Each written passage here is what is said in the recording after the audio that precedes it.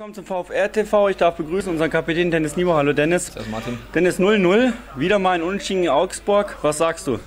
Ja, ein gerechtes Unentschieden. Also wir haben alles versucht heute drei Punkte zu holen, haben ein paar gute Chancen gehabt. Letzten Endes äh, war das 0-0 aber gerecht, weil Augsburg auch ein paar Chancen hatte.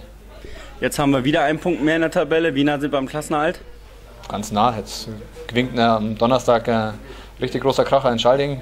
Da wollen wir auch nicht verlieren. Und dann jetzt sieht es eigentlich ganz gut aus und da werden wir nochmal alles raushauen und am besten drei Punkte entführen. Jetzt ist das Spiel ja vorbei. Du hast auch schon ein bisschen mit den Jungs geredet. Wie hast du die Situation gesehen in der ersten Halbzeit, wo leider der Augsburger sich verletzt hat?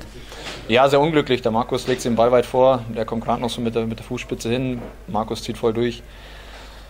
Irgendwie knickt er blöd um. Ich weiß, habe die Situation auch nicht so ganz äh, überblicken können, aber auf diesem Weg halt gute Besserung. Hat, hat auf, der, auf den ersten Blick nicht so schlimm ausgesehen, aber wenn der Sanker kommt, ist dann doch kein gutes Zeichen und auf diesem Weg einfach gute Besserung. Eine Frage noch, äh, dadurch hat sich das Spiel in der zweiten Halbzeit ein bisschen verlängert. Hat euch das aus dem Rhythmus gebracht oder war es total egal? Ja, es ist schon, ist schon ungewöhnlich, wenn man dann 20 Minuten länger warten muss.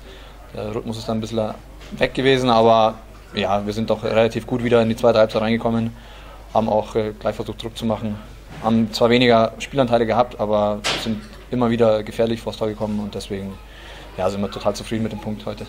Wunderbar, dann kannst du zufrieden in die Kabine gehen. Ich suche jetzt den Coach, mal gucken, was der sagt. Danke dir aber erstmal. Jetzt bei uns unser Coach Daniel Weber. Daniel, schön, dass Hallo. du Zeit hast. Hallo. Kapo war eben gerade bei uns, hat ein bisschen was zum Spiel gesagt. Wie hast du das Spiel aber gesehen?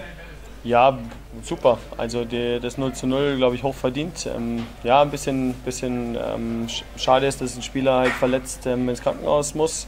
Ähm, von unserer Seite, von aller Seite aus gute Besserung von uns. Ähm, ja, war keine böse Aktion, ähm, war sogar der Ball und noch kein, kein Gegenspieler. Also ja, wie gesagt, ich hoffe, dass nicht so schlimm ist bei dem Spieler, sondern dass es der erste Schmerz ist.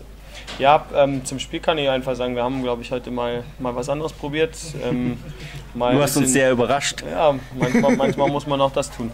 Ähm, nein, wir haben, ähm, wir haben einfach in den englischen Wochen, muss man einfach sagen, da muss man den einen oder anderen auch mal schonen. Mhm. Ähm, und ähm, heute haben wir taktisch halt super, super agiert ähm, gegen den Gegner, ähm, haben, das, haben das top gemacht. Auch die Spieler, die länger nicht so viel gespielt haben. Und dementsprechend müssen, wir, müssen wir da ähm, großes Lob an die Jungs aussprechen. Sie haben halt einfach kaum Chancen zugelassen und das gegen eine der talentiertesten Offensiven in der Liga. Ähm, mit wahnsinnig viel Geschwindigkeit und ähm, da haben wir alle ganz gut aus dem Spiel genommen und haben sogar noch selber Chancen produzieren können nach vorne. Ähm, ähm, mit viel Druck, auch mal mit hohem Anlaufen und ähm, ja, das hat, Spaß gemacht zuzuschauen heute. Kann es sein, dass der FC Augsburg einer unserer klassischen Gegner ist, wo wir jetzt jedes Mal drauf freuen, weil die Spiele sind ja immer spektakulär, sage ich mal. Sie gehen rauf und runter, es gibt drüben, jeder hat die Chance, sage ich mal, zu führen. Wie sehr freust du dich immer auf solche Spiele? Ach, gegen Zweiermannschaften zu spielen ist immer toll. Die haben äh, taktisch eine, eine Überlegung, äh, machen einen ganz klaren, ganz klaren Auftrag, den du, den auch einigermaßen gut lesen kannst. Ähm, dementsprechend ähm, versuchen wir da natürlich unser Gegenkonzept zu haben und versuchen uns aber nicht außer Acht zu lassen. Und, ähm, und das ist halt wahnsinnig wichtig, dass wir da ähm, sehr, sehr lernfähig sind. Ähm, mhm. Und das halt mit wenig Einheiten auch noch dazu. Also muss man auch sagen. Also jetzt waren es gerade mal zwei Einheiten auf das Spiel ähm, zum Mittwoch und ähm, das machen wir, machen wir dann halt richtig gut. Da hast du recht, richtig gut. Es war fantastisch wieder, muss ich nur sagen. Letzte Woche habe hab ich dich was gefragt, hast du gesagt, du bist kein Hellseher. Ich frage dich aber trotzdem, wie nah sind wir jetzt am Klassenerhalt dran? Ich muss mir die anderen Ergebnisse angucken. Ähm, die sind aber erst in einer, in einer Stunde ja. da. Ähm, ich hoffe, Wenn du es vergleichst hoffe, mit vor zwei Jahren? Ja, natürlich. natürlich. Wir, haben, wir haben einen Vereinsrekord eingestellt, äh, was die Liga angeht, die Punkte angeht. Wir haben äh, heute wieder gepunktet ähm, gegen eine starke Mannschaft. Ähm, natürlich sind wir dem sehr, sehr nah. Ich glaube, dass es ähm, vorm Spiel habe ich, hab, hab ich geglaubt, dass es noch um einen Sieg geht. Ähm, und, ähm, und jetzt glaube ich genauso, dass es ähm, weiterhin um, um ein, zwei Punkte geht. 39 ähm, ähm, glaube ich nicht, dass die Mannschaften von unten alle bekommen ähm, oder die vor allen Dingen die, ähm, die letzten drei.